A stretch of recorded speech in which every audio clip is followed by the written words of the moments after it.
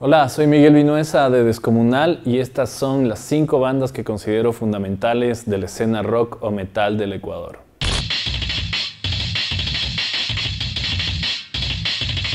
Número uno, eh, Vasca, banda cuencana de metal que está entre el thrash y el heavy metal, banda que apela un montón a su historia, en sus presentaciones en vivo y también en su sonido.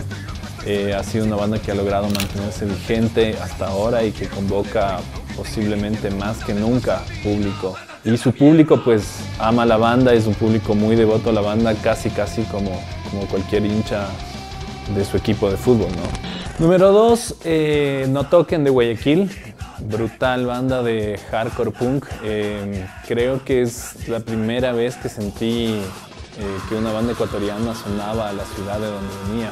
Y me parece que tiene mucha identidad y que habla mucho de lo que, no solo de lo que es la escena guayaquileña, sino también de lo que son sus calles, de lo que siente la gente. Y, se refleja muy bien la importancia, digamos, del punk dentro de la idiosincrasia guayaca y viceversa.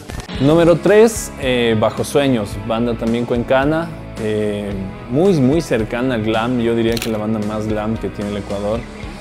En todo sentido, en cómo se mueven, en cómo se ven, creo que sin duda alguna es una de las bandas que puede llegar a varios públicos. Bajo Sueños puede tocar junto a cualquier banda de heavy español que sea leyenda y quedar muy bien o hasta sonar mejor y tocar también a la par con, no sé, los hermanos Miño Naranjo y tener todo el sentido del mundo.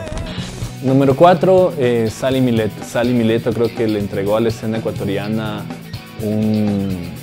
una forma un poco más lúdica de ver la música y de jugar con, con los elementos que conforman la música. Si a eso le sumamos la poesía que siempre tuvo de la mano de Peque Andino y pensamos que también tiene ese misticismo y ese sonido a las calles quiteñas que un poco mencionaba antes con No sin duda es una de las bandas que, que, seguirá marcando y que seguirá influyendo a, otros, a, nuevas camadas de músicos ecuatorianos. Y para mí la quinta banda la número 5 en este caso es Misil, sobre todo por todo todo el bagaje que le dio a la música más alternativa, más que estaba hacia el lado del hardcore, que creo que sin duda alguna los que tuvimos la oportunidad de verlos en vivo nos marcó y nos dejó una influencia súper grande. La brutalidad de sus conciertos, la pasión que había en los mismos y cómo la gente le quitaba el micrófono a Gustavo cuando cantaba, sin duda creo que a muchos nos impresionó.